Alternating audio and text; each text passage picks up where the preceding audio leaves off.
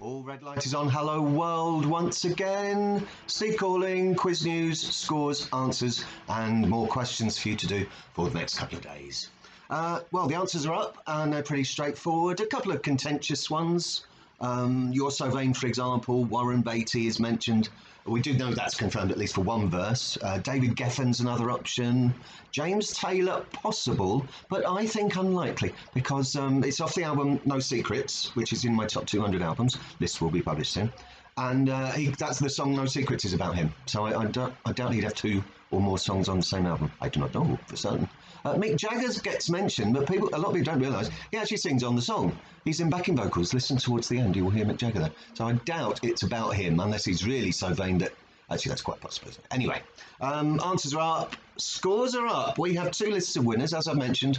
One for people who do it straight away or without research or big teamwork phone phoning backwards and forwards and stuff. And then the other list of people who do want to find out the answers. You got the time. I can't stop you. Do both lists if you like, and several people have. Winning the quizzes, then we've got Steve Ainger just beating the Velvet Underpants. Velvet Underpants, who I've known for many, many years. Steve Ainger for a few as well, though we haven't seen him lately at the White Hart. Hope to see you soon. Uh, he used to go to the, the other place, as we call it. Uh, Steve Ainger and I'm not the only person this happens to as well. We keep getting emails from you spamming trying to sell Viagra. I had one this week.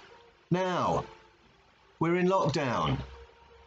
There aren't queues of young ladies allowed to come in for rumpy pumpy, unfortunately. Stop with the spam, please, if you can. Uh, other winners Morgan Boniface from FISO. Not FISO, it's FISO. Uh, just beating World Insanity Plea by one point. And Nancy from World Insanity Plea did write to me. She said, ah, we had Rosanna Arquette as a possible answer as well. It's so close. It's so close. There's more questions to come, though, to sort you out. By the way, there's several teams on one of the lists with the same score, and I worked that out. There is ranked according to time. The first answers I get in, they go higher up the table, and that's how it's going to work.